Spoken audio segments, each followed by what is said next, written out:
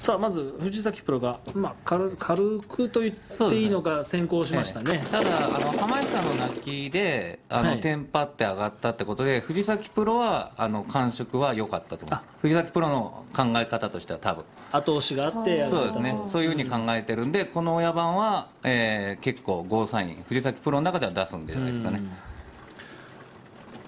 石井さんは藤崎プロの麻雀とかはいやそんなには知らないんですうよね。ん。さあその藤崎プロのハイパイまあまあ良さそうです。確かに良さそう。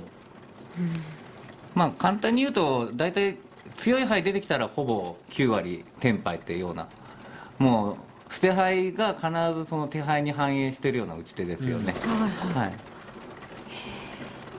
それでいて染め手とかやるときにはちょっと裏を変えて、うん。あの落とし穴を作っていくとかそういう感じの打ち手ですよね。手材料が揃ってれば、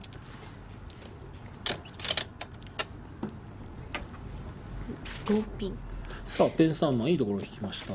そして両面系を決め打ったそうですですね。ねただ村上プロもこういうのは泣かないであのリーチまでこぎつけると思いますね、あのかなり腰重い打ち方するんでただポンテになった時だけ状況によっては取るかもしれないですけどね。まあ、実際、リュウハ1枚切れてますね。そうですね。次はい。だから次のフォーマットだと思います？今わざとウーワンあうん。の空切りしましたね。56って手出しでしたんでこれはわざとですああいねう方がちょっと目立ちませんか？そうですね。逆に。ただそ次の段階でテンパった時にリーチっていくとうん。あの受けた側はあの、はい。チートイもチ。ートイのような気もするんですよね さあ、今これでリュウハと、えー、イーソーのシャンポン、町としてはかなり優秀ですね。あそうですねあそっか血は入ってんで入ったんでしたそうです。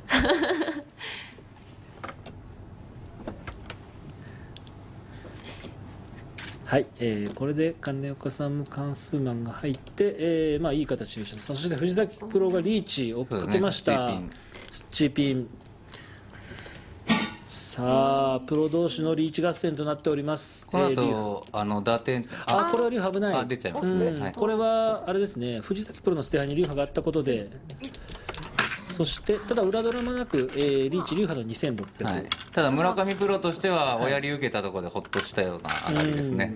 木崎プロとしてはあの、まあ、チャンス手だっただけうん。にちょっと残念って感じだと思います、